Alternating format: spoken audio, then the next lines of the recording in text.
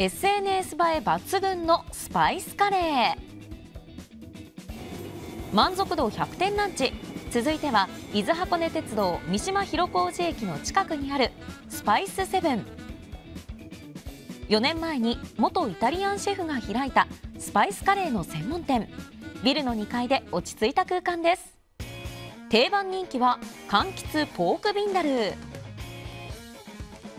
ポークビンダルは玉ねぎを飴色になるまで炒めて酢とココナッツミルクを使うんですけどその酢の部分を今は、え柑橘系の果物に変えてます。今はみかんを使ってます。スパイスはコリアンダークミンターメリックチリ等です。まずはあのスパイスはあの新鮮なものを使うってことですね。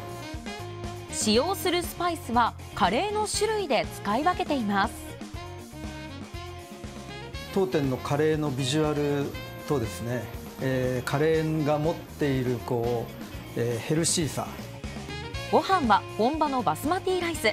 酢の酸味や具材の甘みが来た後にじんわりと辛さが追いかけてきます。ランチ限定でデザートとドリンクをお得につけられます。デザート2種盛りとドリンクのセットが人気です。こちらはシンプルなバスクチーズケーキ、えー、生クリームたっぷり使ってるのでかなりね、しっとりとっていうかねっとりとした食感。自家製のヨーグルトムースも。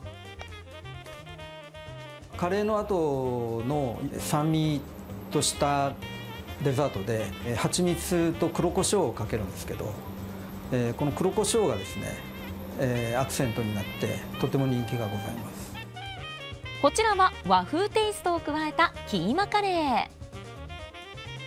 当店のキーマカレーはかつおだしと八丁味噌を使ったキーマカレーになります。豚肉とごぼうは相性がいいのであのお味噌とごぼうも相性がいいので和風のイメージで作ったスパイスカレーですね。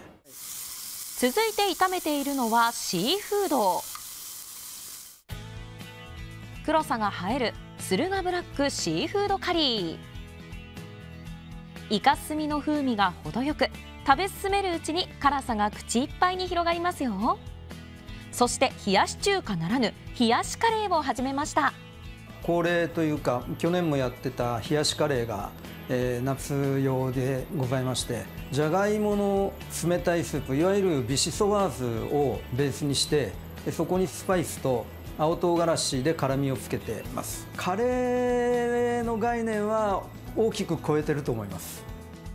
優しい辛さの冷やしカレーと辛みのあるキーマカレーを一緒に味わうのがおすすめ。